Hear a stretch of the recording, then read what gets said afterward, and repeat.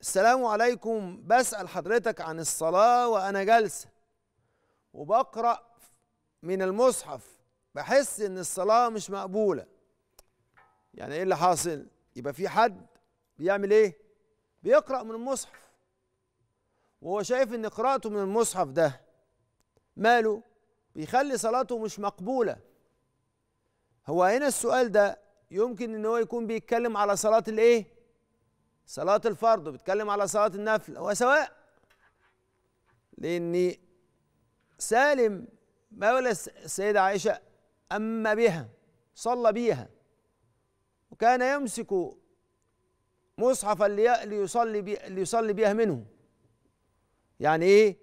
يمسك ما عنده من مكتوبات القرآن ويصلي بيه فإيه اللي حاصل؟ فبان إن ده جائز.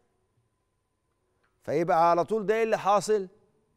فظهر من ذلك أنه يجوز للانسان أن يصلي بهذا في الفرض وفي النفل.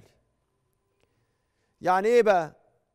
يعني الواحد لو صلى وهو بيقرأ من المصحف ده جائز.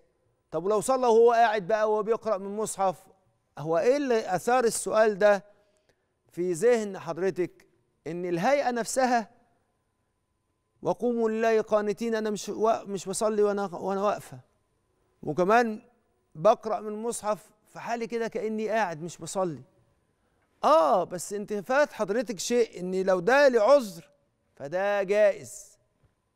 فده جائز في إيه؟ لو كان لعذر في صلاة الإيه؟ في صلاة الفريضة. أما في صلاة النفل فده جائز ويجعل الصلاة ده أقل من صلاة القيام إلى النصف. فيجوز إن أنا أصلي في صلاة النفل جالسا. فيبقى على كل حال سواء أنت صليتي جالسة في الفريضة اللي عذر عندي حضرتك مش قادرة تقفي فصليتي قاعدة. ولازم نقول إن دول مسألتين إن الصلاة جالسة دي مسألة والصلاة مع قراءة من المصحف يعني حمله وتقليبه والنظر إليه دي مسألة تانية. طيب لو صليتي وانت جالسة وعندك عذر في صلاة الفريضة صلاتك صحيحة. طب ولو صليتي في وانت ما عندكيش عذر في صلاة النفل وانت جالسة فصلاتك صحيحة. وتكون على النصف من صلاة الفرض. طيب. طب والقراءة من المصحف جائزة.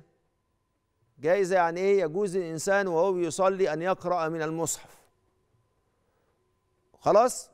يبقى كده صلاة حضرتك مقبولة بنقول صحيحة لأن القبول ده بيد الله سبحانه وتعالى فصلاتك صحيحة على الحالتين إن شاء الله.